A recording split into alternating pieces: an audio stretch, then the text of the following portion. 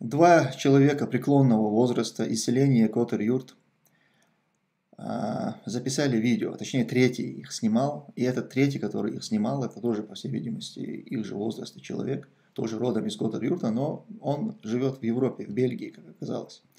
Видимо, приезжал навестить своих родных в республику, и, в общем, они сняли вот этот вот шуточный ролик. Я чуть позже вам покажу этот ролик. И на этом а, надо, о, самое главное, что сейчас нужно, перед тем, как мы его с вами начнем смотреть, что нужно а, понять, что это не публичные люди, это не какие-то там блогеры или общественные деятели, это не активисты, это просто обычные как бы, чеченцы, причем уже преклонного возраста, это старики, и они как бы внут, для, для внутреннего потребления какой, каком, какой-то своей компании, они сняли вот этот ролик, он шуточный, это не какое-то серьезное обращение к массам, не призыв к чему-то. Это просто шуточный ролик трех стариков. И, как э, я понимаю, они, э, этот, значит, приезжий с Европы должен был вернуться в Европу, и они как бы вот это обращение делают там каким-то другим своим таким же товарищам, проживающим в Европе. Никуда в какие-то широкие массы это видео уходить не должно было. Помните об этом, а теперь давайте с вами посмотрим, а, что, что эти старики сказали, и я затем вам это переведу. Ассаламу алейкум.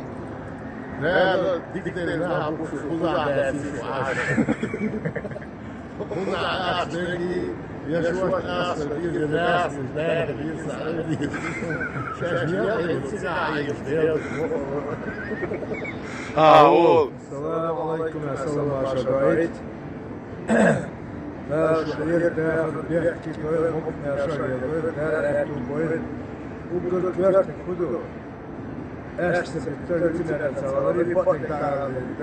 İmana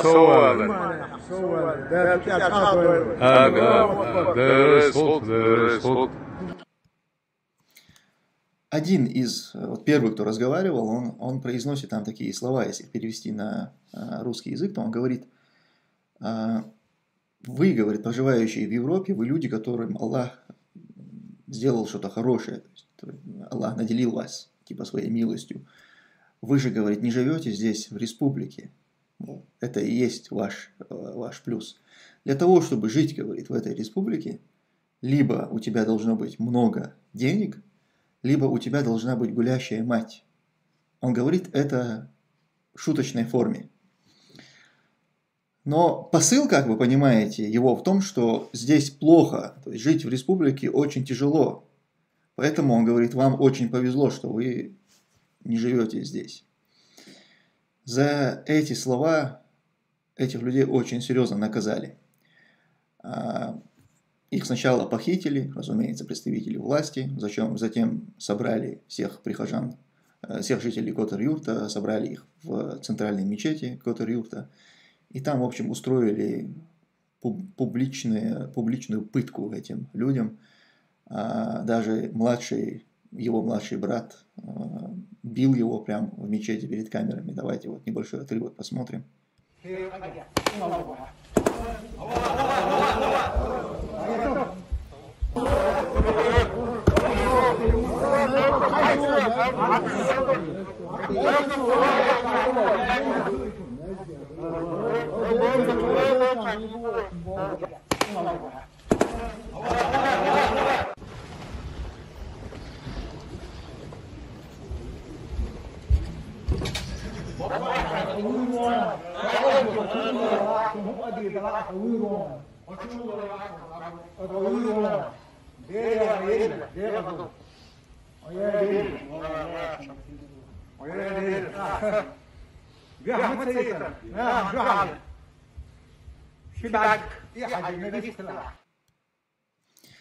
Самое такое главное обвинение против них, что якобы они вот этими своими словами, типа у вас должно быть много денег, чтобы жить в республике, хорошо жить в республике, у вас должно быть много денег, либо у вас должна быть гулящая мать.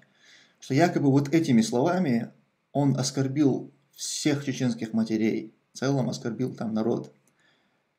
И за это, вот, мол, их там чуть ли отлучили вообще, выслали из а, села, как вы видите, публично унижают, оскверняют, избивают. Их подвергли такому наказанию, которому обычно подвергают человека, который действительно совершил что-то вот очень такое омерзительное, отвратительное. Но дело в том, что эти, этот старик, в его словах, не было ничего подобного, за что стоило бы даже его как-то за это осудить. Не то, чтобы там делать то, что с ним сделали, а просто даже для того, чтобы с ним осудить, чтобы его осудить. Что он сказал? Это такая ситуация, когда есть некая наша компания, и, и в нашей компании есть какой-то известный случай. Мы с вами все его знаем, другие люди не знают, но мы с вами знаем, о чем идет речь. И вот когда я с вами разговариваю в шуточной форме, я вам говорю, для того, чтобы жить хорошо, у нас нужно иметь либо много денег, я говорю, либо подразумевая кого-то, понимаете, у нас в нашей компании мы знаем, кого мы подразумеваем.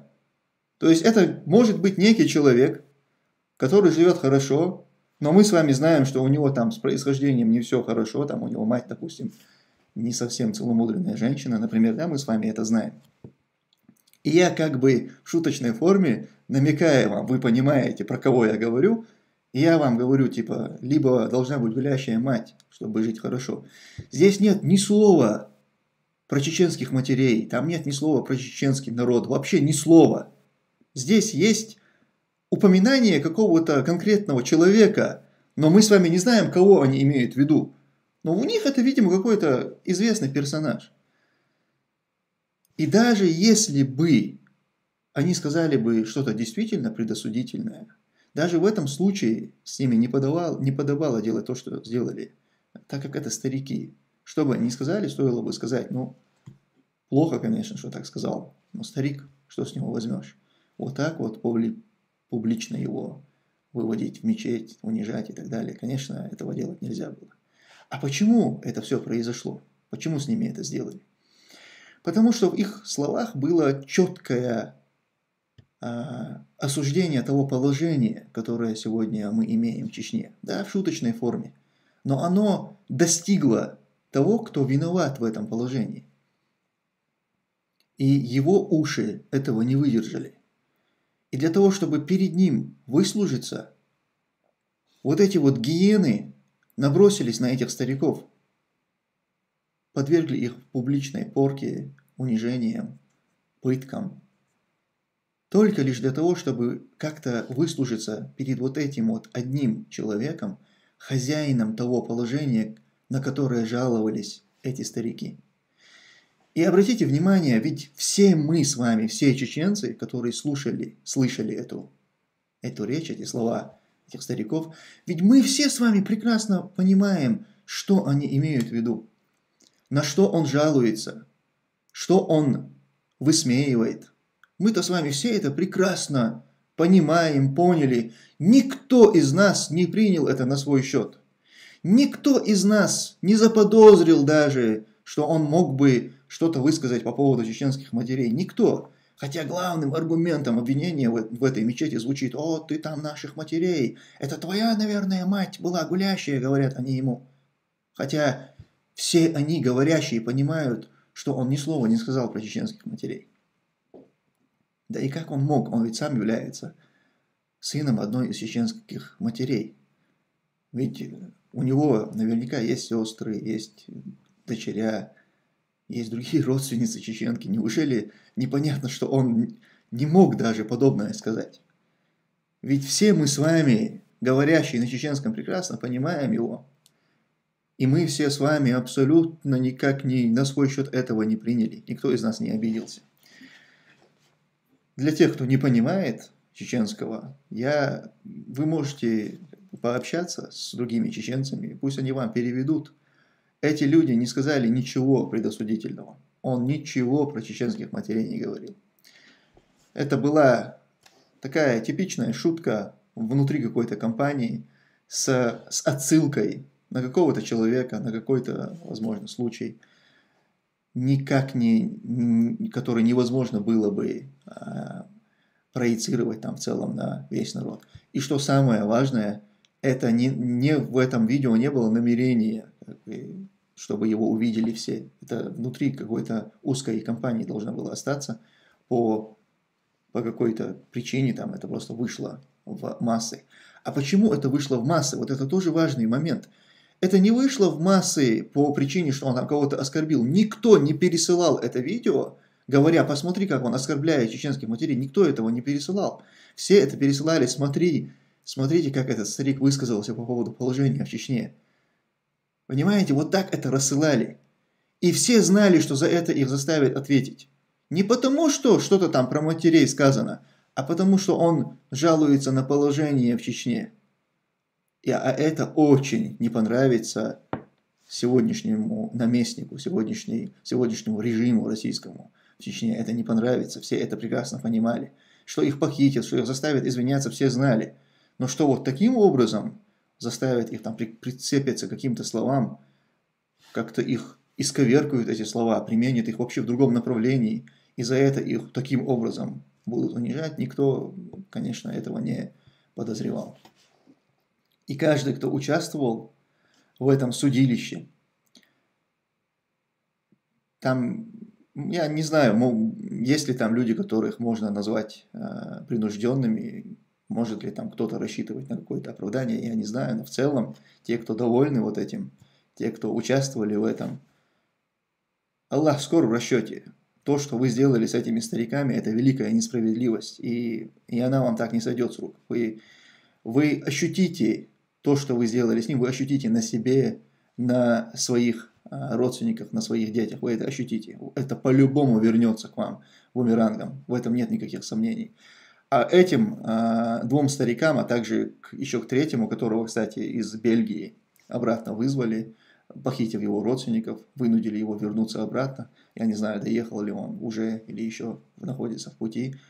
Я хочу вот вам троим сказать и всем, кто еще, может быть, пострадает, вы абсолютно в наших глазах не унизились. Аллахи, мы прекрасно понимаем, что произошло в этой мечети. И вот что бы они там с вами ни сделали, как бы они ни пытались вас унизить, в наших глазах, в глазах обычных людей, в глазах вашего народа, в глазах ваших же односельчан, которые понимают, что там происходит, вы ничуть не унизились. То, что этот там младший брат поднял на тебя руку, то, что говорили в отношении тебя очень нелестные вещи, то, что там оскорбляли твою мать и так далее, это все ничуть не унизило тебя в наших глазах. Мы знаем твое положение. А, очень много наших братьев и сестер находились и находятся в еще более тяжелом положении, и они вынуждены терпеть все эти высказывания, все эти а, удары там, и так далее.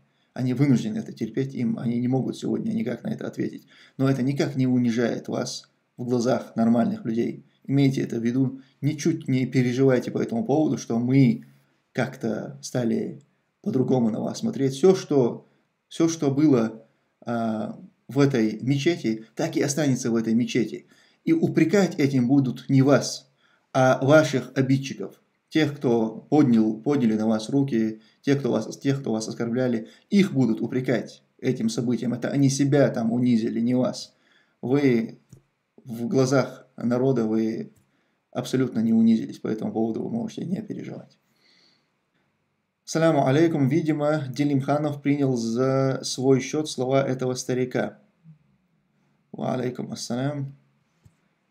Я не знаю, кто там и как это принял, но а, они там не называют никаких имен, они не говорят я, ни про кого.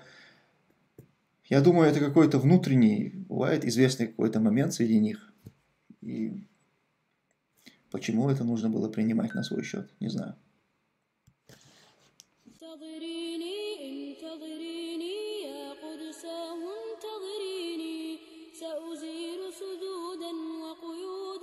سأمحو رجس الصهيون انتظري انتظريني يا قدس انتظريني سأزيل سدودا